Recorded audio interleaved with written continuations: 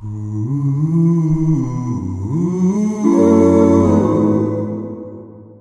I've wondered, what is Milo Yiannopoulos up to now? No hope is too high, Milo.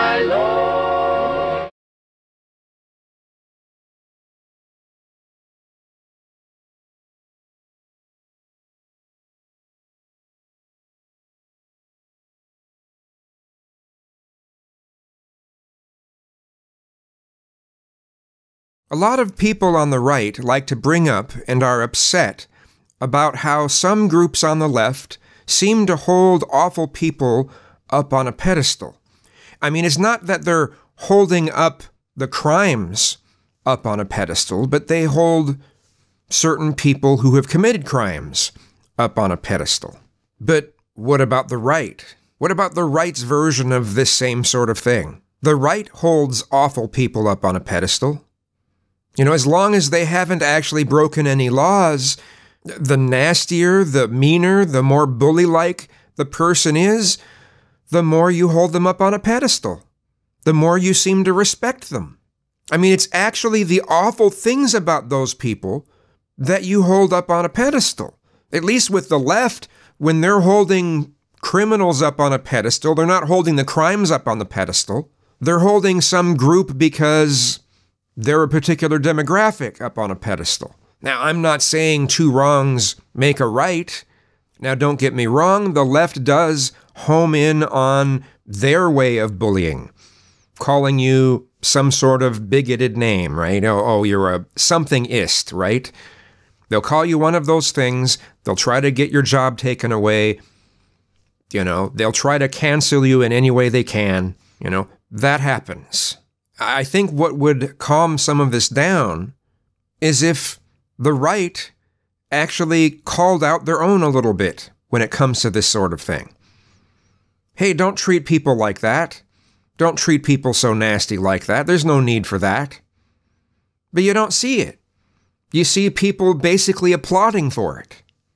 Oh, you really showed them all working within a legal framework. You know, as long as you, as long, the nastier you can be under this legal framework or this this set of rules, the nastier you can be, well, the better. Well, that means you're better than other people, right? That means you're superior to other people, right? That's kind of the attitude. So the left is reacting in any way they know how, and they're, they're being irrational and they're, they're not looking down the road very well. They're not looking many moves ahead. They're they're just like, well, we need to stop this. It's it's hateful. It's it needs to be banned. These people need to be be canceled. These people need to have their lives affected negatively because of what they've said. When the truth is people on the right just need to start calling some of these people out. Unfortunately, that's not going to happen. Unfortunately, they're reacting to how the left is reacting, and it just compounds itself and it just gets worse and everyone's pointing fingers at each other, and uh, nothing is getting accomplished except more division. You know, make fun of people for things they have no control of. Be as nasty as possible. Be as degrading as possible. The more you potentially make someone feel like shit, the better. After all, you have to pwn those communists, right? I mean, look how many years right wingers held Rush Limbaugh up on a pedestal as nasty as possible under the under the rules that exist. If those rules were even more lax, they'd get even nastier. The left doesn't care as much about the rules, but the left doesn't try to be as nasty as possible. They throw tantrums. They'll riot when they feel like they're cornered. They feel like they have no other way of being heard. I'm not saying the rioting is a good thing. I'm not saying that uh, we should accept the rioting, but I understand why it's there. Now, there are obviously people who are rioting who just want any excuse to cause havoc. Okay, but those people exist everywhere. You know, some people just like to watch the world burn. So, yeah, you know, as long as you're poning those communists, that's all that matters, right? Because, you know, Biden is supposedly a communist or socialist, right? Or he's a communist puppet. The logic makes no sense to me. So, what's Tim Pool up to? If Joe Biden wins, they'll take over all our cultural institutions. They'll put psychotic and insane definitions in our dictionary, and they will take over, and regular Americans will say, Please, love of God, just leave me alone. And they never will. They'll never stop coming. They will take your job away. They will come for your parents. You will you will do something wrong, they'll fire your mom. They'll they'll they'll come to your house with fireworks and guns, and Americans will still just say, Please, just leave me alone. Well, that seems a bit hyperbolic, doesn't it? That kind of seems like some hysteria and fear mongering, wouldn't you say? Kind of gone off the deep end. But it's Tim Pool. I mean, it's he's a grifter. You know, he he does the same thing that that mainstream cable news does. You know, get people all riled up over something. And you know, I'm glad I saw that clip of Tim Pool because it's showing me the direction that I could have headed. You know, I, have caught myself. You know, it's it's it's easy to go down that kind of rabbit hole where you start to to have this paranoid view of the world. Now, again, I'm not saying that none of these things are actually happening. Um, the left, when it comes to the cancel culture, is gotten has gotten really, really nasty. But you're hinging it on, it, you know, oh, it'll it'll just explode if if Joe Biden wins, and I'm just like, what? You know, oh, the stuff that you're seeing in HR departments and at universities, it's going to explode. It's going to, to just go way more into our lives if Biden wins. He's going to facilitate this. I'm just like, what? Biden. We're talking about Biden here, the more conservative side of the Obama administration. Biden is no communist or socialist. To say such is laughable. It's just it's just plain laughable.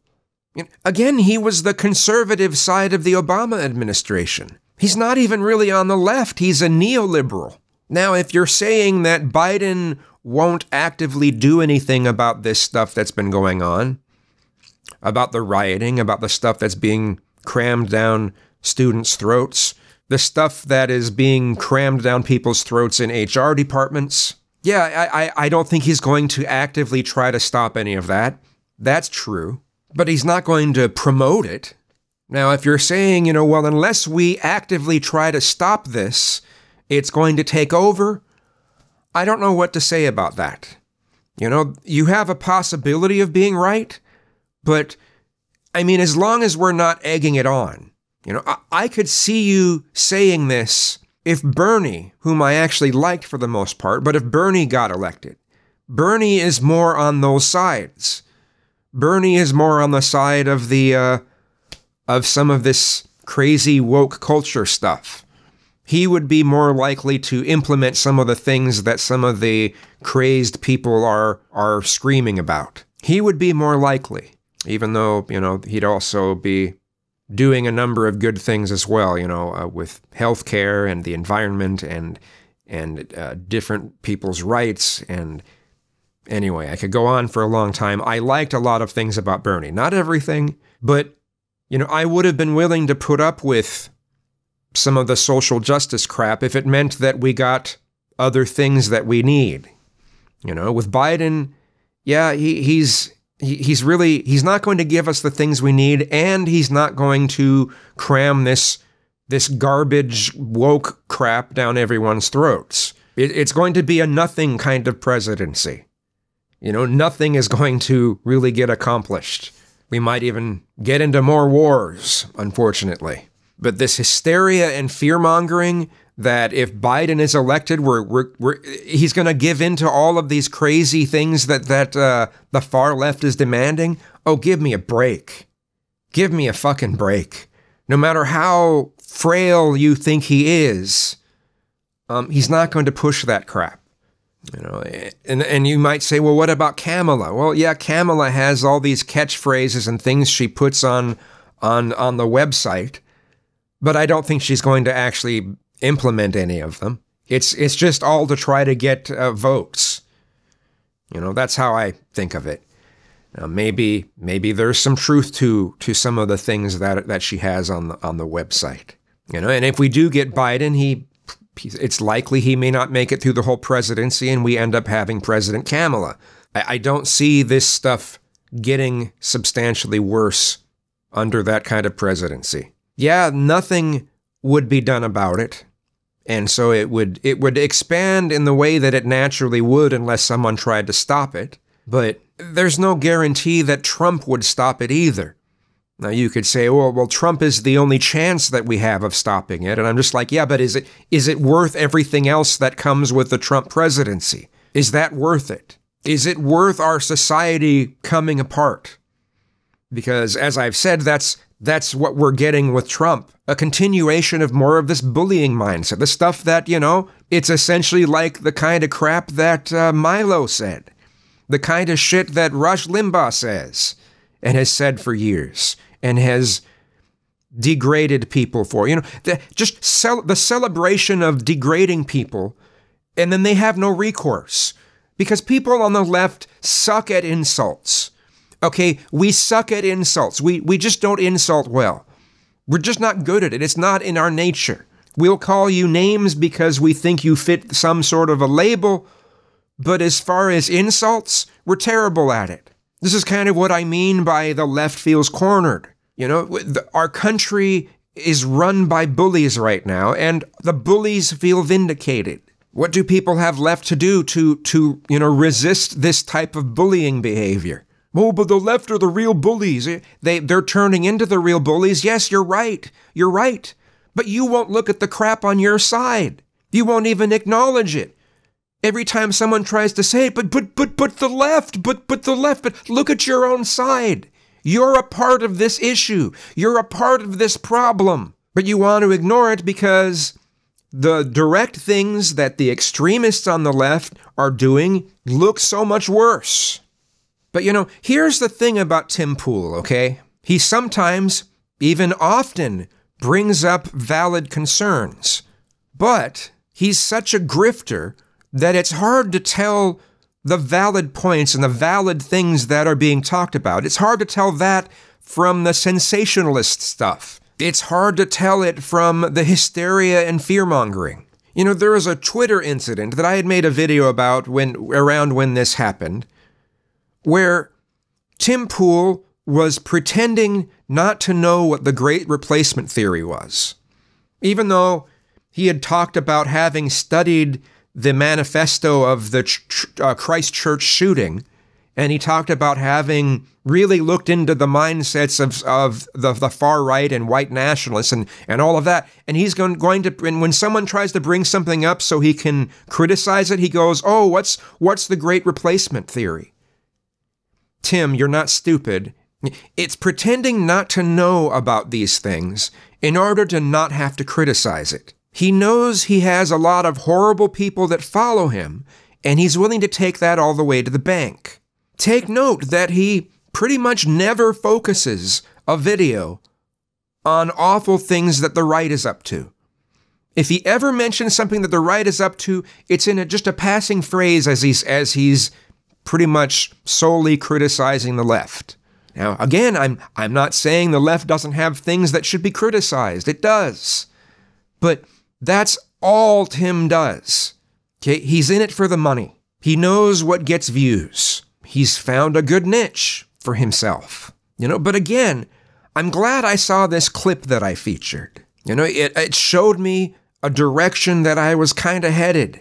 I mean, I don't make these videos for the money, but it's easy to fall into this sort of hysteria. It's easy to fall for some of the fear mongering. Do we have some things to worry about? Yeah. But it's not like the way Tim Pool puts it. Anyway,